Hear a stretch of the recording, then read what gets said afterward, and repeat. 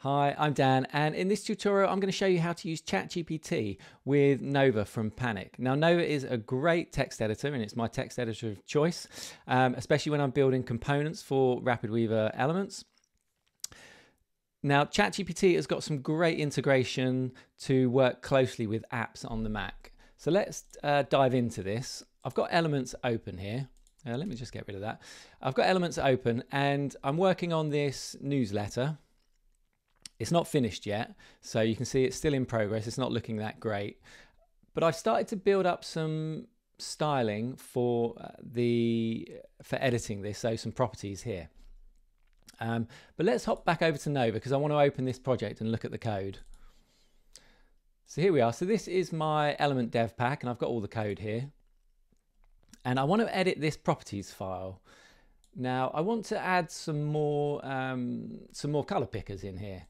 So what we can do, I can see I've got a title and a heading here, and I can see next up we've got this, um, we've got the color picker, and I want another one of these. So what I'm going to do, uh, I'm going to copy this code, and I'm just going to paste it in here.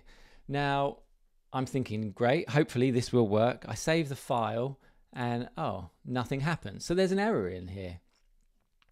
So let's go over to ChatGPT, and this is just a normal ChatGPT window at the moment, but we need to hook it into um, Nova, and we can do that with this new option here. You can pick, um, I've already activated the link between Nova and ChatGPT, um, but you'll see it in a list down here if you haven't activated it.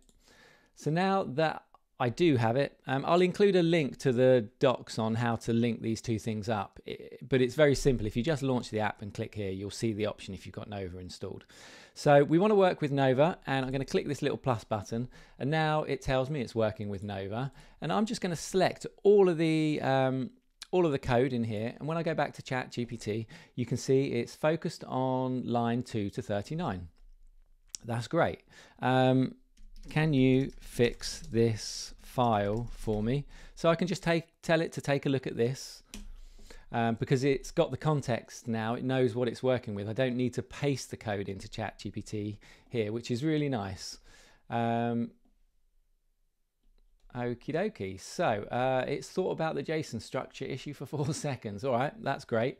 Um, I presume it's fixed it. Let's copy this and paste it back in here.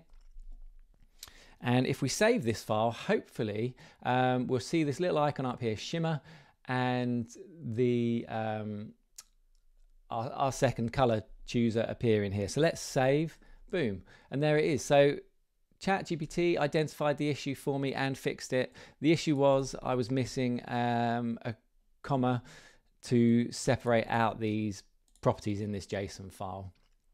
Um, but you know, especially as the, this got bigger, I could have just. I knew this was the issue, but you know, as these get bigger and more complex, it's really handy to have this to say, you know, to just look over these files. Um, and it also tidied up the indentation as well, which is very nice. So super handy. Um, and obviously, I could fix issues in here as well. I, you know, I just select these lines here, and if I go back over, Nova tells me, um, ChatGPT tells me it's working on those lines there. So any questions I ask it will be focused on that.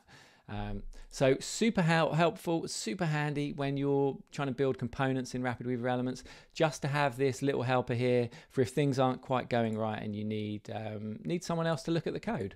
So super handy. I hope you found that video useful and I will see you in the next one. Cheers. Bye.